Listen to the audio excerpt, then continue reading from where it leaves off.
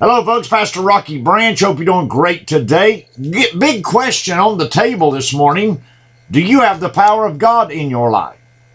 I mean, the supernatural move of God in your life. Now, one of the things that we desire to do is to get folks to understand that the Bible is a real book written by real men, inspired by the real Holy Spirit, that we might grow thereby because this earth is, well, it's not our home.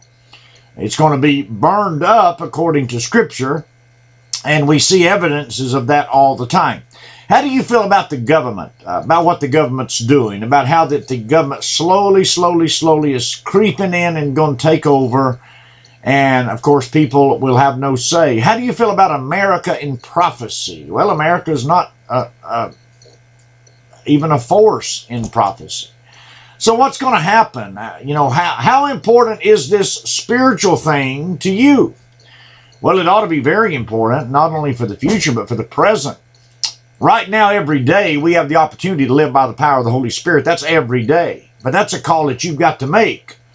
You see, the Holy Spirit has been given to those that believe. Now, if you've accepted Christ as your Savior, the Holy Spirit lives inside of you. The Bible's very clear on this.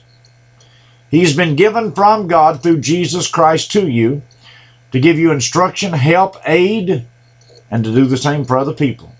The Holy Spirit's very valuable in each life, not only for eternity, uh, eternity, but also for daily instruction. But can you live your life with the Holy Spirit inside of you and have no power? Well, the answer is yes. You certainly can. You see, power with God is a little different than power with men. Power with men can be achieved by, well, lifting weights, a position that you hold, money that you have, a car, a gun. A lot of things represent power. But supernatural power only comes one way, and that's by way of the Holy Spirit. The reason this is important is because the key element of that power is fellowship. You must have supernatural fellowship. And the Bible is very clear that God will not fill a dirty vessel. So if you are living contrary to the Word of God, you will not have the fellowship with the Holy Spirit.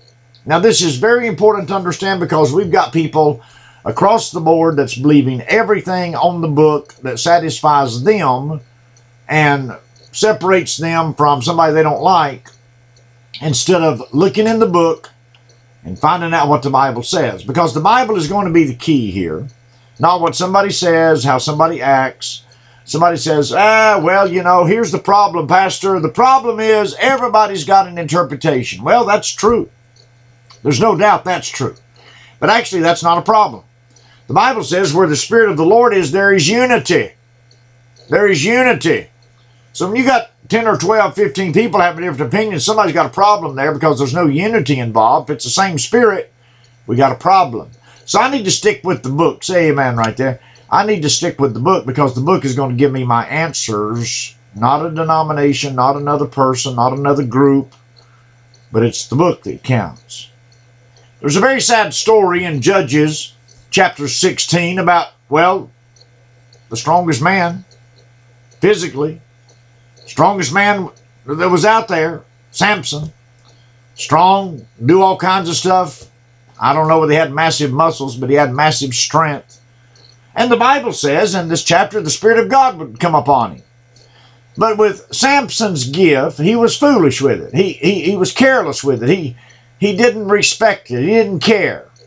Samson wanted to do what he wanted to do instead of what God wanted him to do.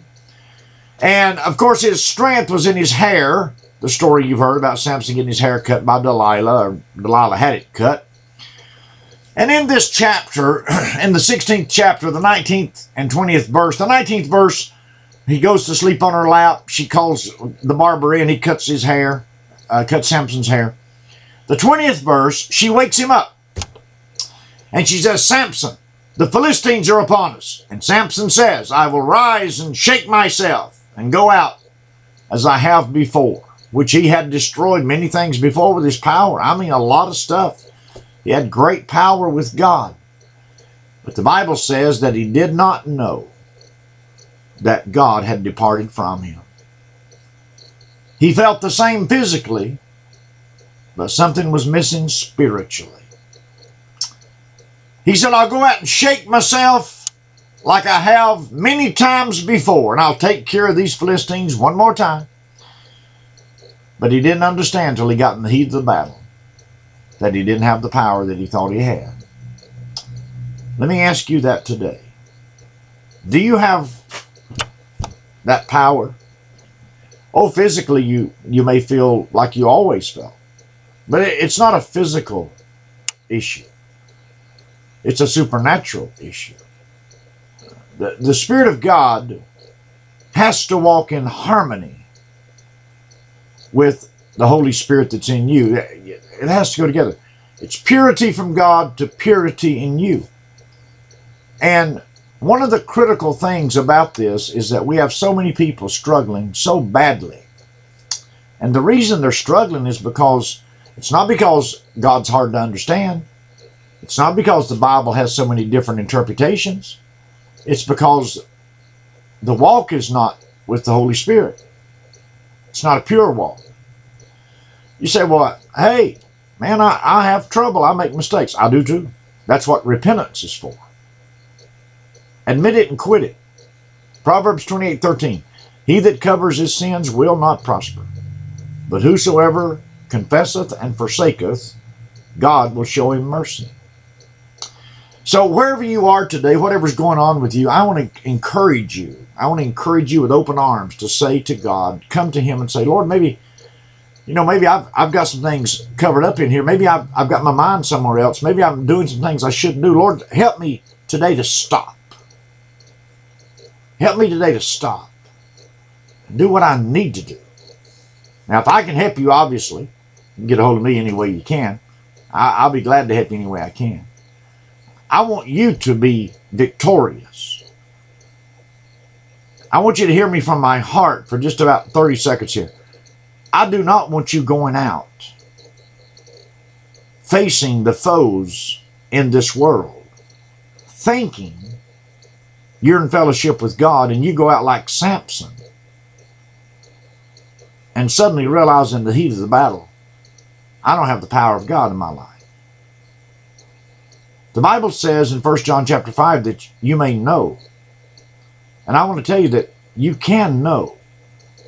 It doesn't have to be a mystery. The old song in the garden, I walk with him and talk with him, is very important.